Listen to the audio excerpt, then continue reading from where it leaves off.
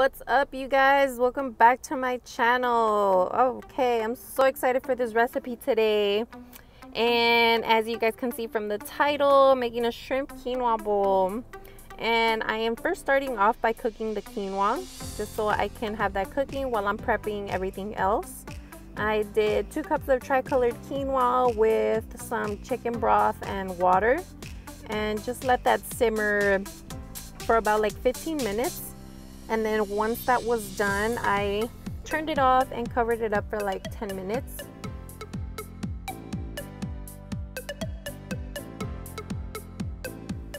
Okay, so oh, for our pico de gallo, I am chopping up a little chunk of red onion. You want to mince that up really finely, you guys. Don't be a lazy chopper. Have everything around the same size it just makes it look pretty. I'm all about pretty when it comes to food. I have to eat with my eyes first and then with my mouth. Especially when I know I'm cooking, I gotta make that look A1. All right, and then so for the red onion, I'm gonna marinate it in some lime juice so it can get that yummy, lemony, acidic flavor. Okay, and I'm using the whole lime, and then I'm also gonna add for some heat some serrano chili pepper and I added almost the whole thing. If you guys don't like spicy, you can either leave this out or if you don't want it as spicy, you can take off the seeds and the white part, the membrane of the chile. That's actually what makes it spicy.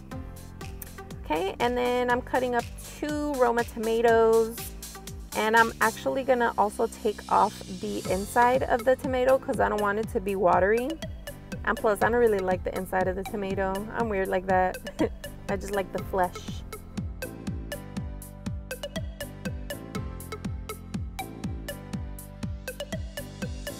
Some cilantro. I love cilantro. It smells so fresh and yummy. Can't go wrong with it. I make this fresh, you guys. I know sometimes, you know, we're busy with life and we don't have time to, you know, cook or anything, but I love eating like fresh food. Like I love buying fresh veggies or whatnot. Like that's my jam. give me some fresh ingredients and I'll whoop you something up. Like I'm not about the microwave oven life. But anyways, enough bragging. Look how good this pico de gallo looks, guys. Yummy. And I'm gonna leave that in the fridge while I work on the rest of my ingredients. So now for the star of the dish, my shrimp. Um, right here, I'm actually peeling them. They're already deveined. You can buy them both peeled and deveined. I know they come out a little bit uh, expensive, but hey, if you're not about that life, you can go ahead and take shortcuts because why the hell not, right?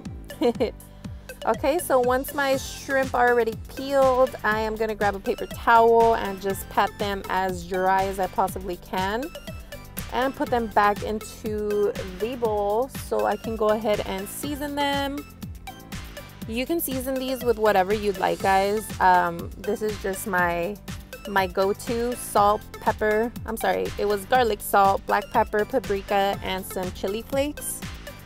And this is my jam, guys. This is like the seasoning for my shrimp. I love it. Every time I cook with it, with the shrimp, and I add these seasonings, it just tastes so, so good.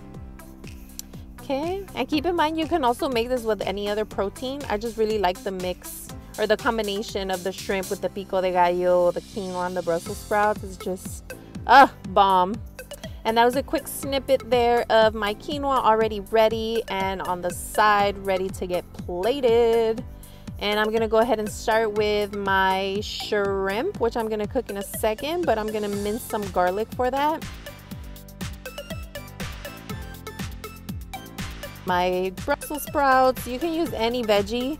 I just wanted to eat Brussels sprouts today, so I chose that. You can either do bell pepper, you could do um, carrots, broccoli, anything. What you want is what you get in your kitchen. Am I right, guys? Hell yeah. You're the boss of your own kitchen. Can't nobody tell you anything while you're in there. Can't nobody tell me what to do while I'm in there except me and my stomach. Okay, you guys, so here are my shrimp Look how good that already looks. And these don't take too long to cook. Just in three minutes, they are done. So after the minute, I went ahead and I tossed them. Look how good that looks, you guys. I'm about to zoom in for you guys a little bit. Oh my gosh, if you guys could smell these. They smell so good. And they are actually about ready. I'm about to put them back into a container just have them on the side while I work on these Brussels sprouts. And I use the same pan, you guys, because I don't want to be dirtying all those dishes because guess who's to have to clean them afterwards? Yeah, me. And I hate doing dishes. Okay, so I'm just seasoning these up with some salt and pepper, nothing fancy. Okay, and as you can see, they do have a little bit of color, which is what I want. And then I'm grabbing some chicken broth because I want to steam these, okay? Because I know they're still kind of raw from the inside, but not for long. I'm only going to steam them for a minute. Okay, and then once my Brussels sprouts are done, I am plating this. So sorry about that cut, you guys. My phone died as soon as I was plating it. But here is a picture of how the bowl looks. Look how delicious that looks, you guys. And all the colors. Let me know what you guys think of this video. Give me a thumbs up. Don't forget to subscribe. See you next time.